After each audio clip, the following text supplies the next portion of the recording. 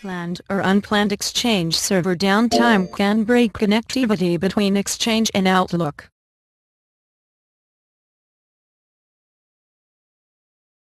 Server downtime can put the business at risk but OST files comes for rescue.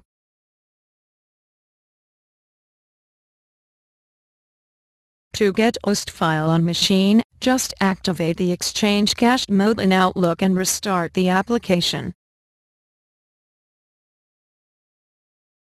With Outlook 2010 open, click the File tab. Click the Account Settings button, then click Account Settings. Click your email account, then click Change.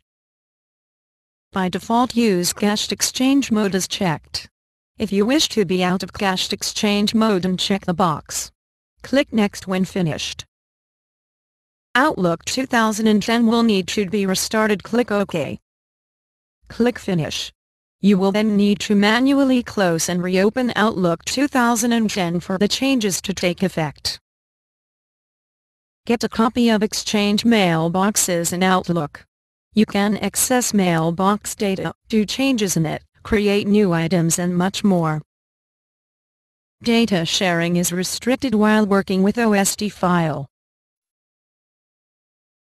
Now when connection with server is restored, the changes done in mailbox data should be updated in Exchange server. To synchronize OST with Exchange server, Click on Send and Receive button in Outlook.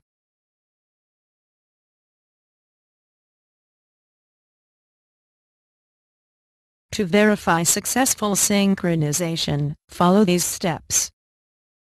Right-click the folder to be verified and then click Properties. Click on the Synchronization tab.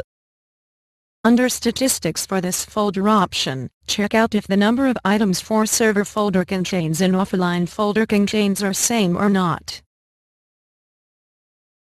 The number of items does not match. The emails in two of the folders in Exchange are missing. How will you recover lost emails from the folders?